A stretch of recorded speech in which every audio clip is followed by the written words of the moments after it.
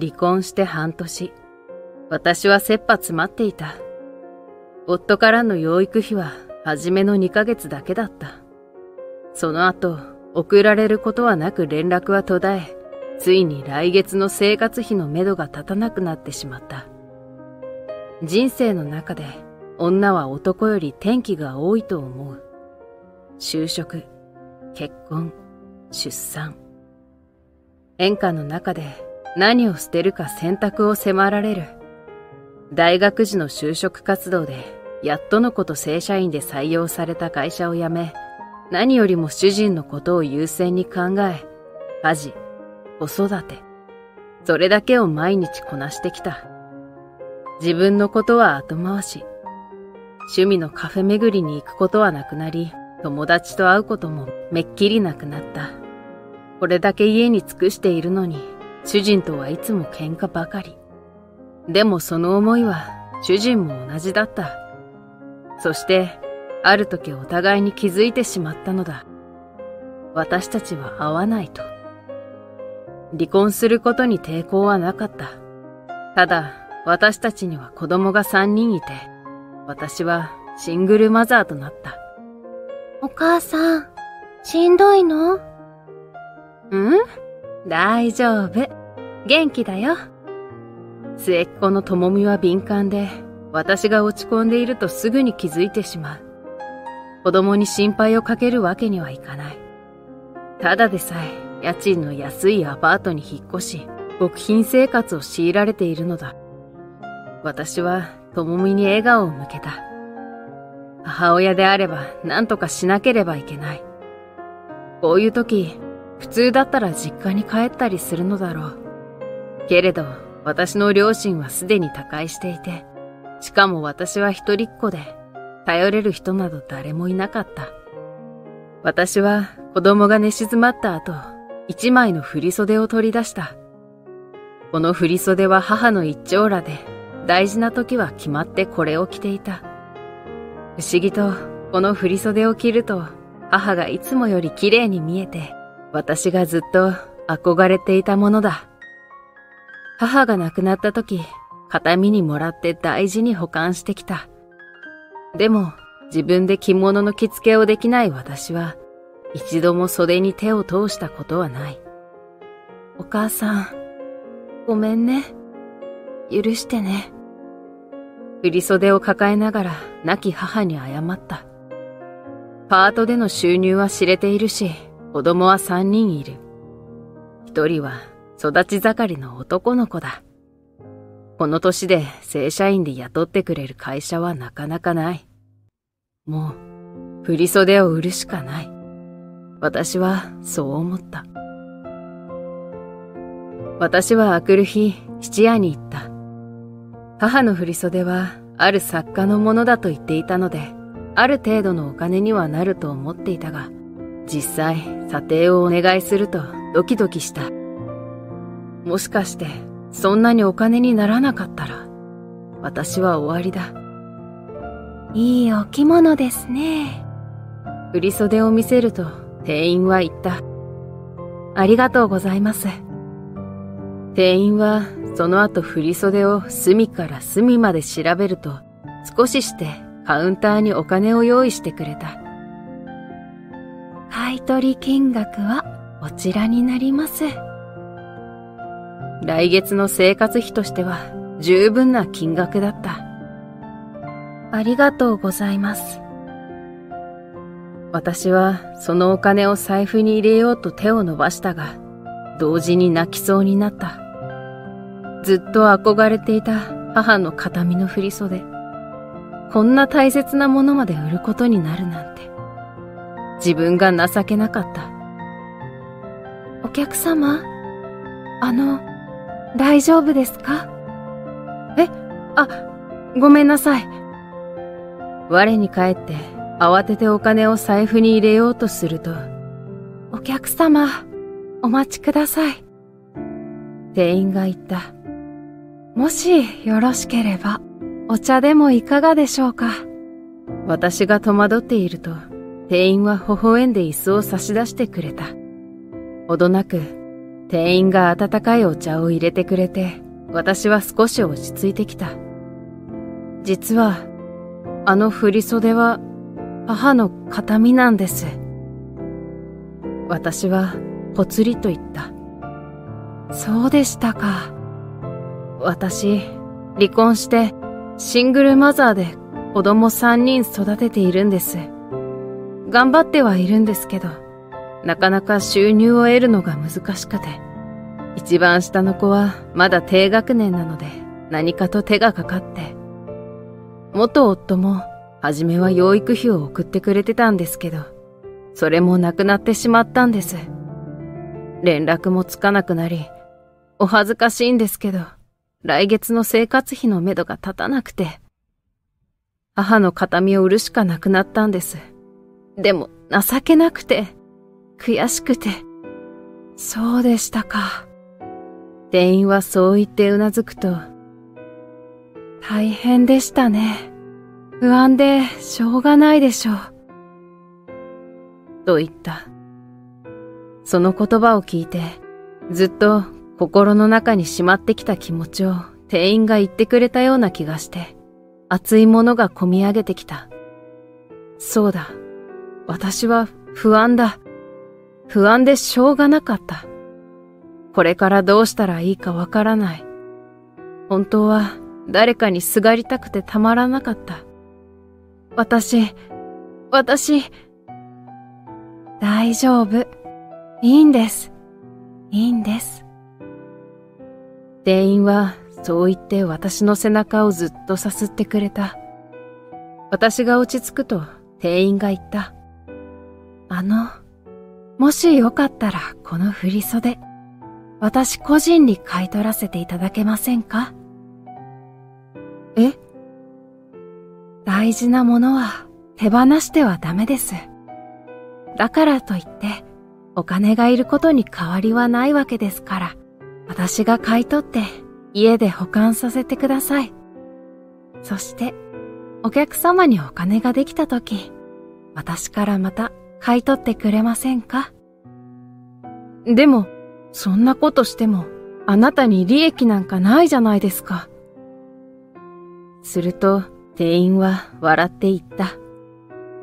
もしかしたら、お客様が大金持ちになるかもしれませんので、こんな会ったばかりの人に甘えていいのだろうか。そう思ったが、私はありがたく店員の提案を受け入れることにした。帰り際、店員は私の手を少しの間握りしめていった。おまじないしておきましたよ。きっと、いい方向に向かいますよ。私はそのとんでもない優しさに胸がいっぱいになった。おまじないなんて信じてないし、彼女に特別な力があるとも思えなかった。けれど、これからいい方向に向かっていく。そんな気がした。必ず、振袖迎えに行きます。私は言った。それから私は死に物狂いで就職活動をした。案の定、子持ちのおばさんは働き口がなかなか見つからなかった。でも、何としても私の力で子供たちを育て上げるんだ。という気持ちと、店員さんが最後にしてくれたおまじないを思い出して、絶対いい方向に行く、と自分自身に暗示をかけた。それでも、パートの仕事と子育てをしながらの就職活動は難航を極めた。またお金がなくなってしまう。毎日プレッシャーとの戦いだった。そんなある時だ。お母さん、いつもありがとう。パートから帰ると三人の子供が待ち構えていた。手には雑草の花。え？今日はね、母の日だよ。末っ子のともみが言った。お母さん、これ。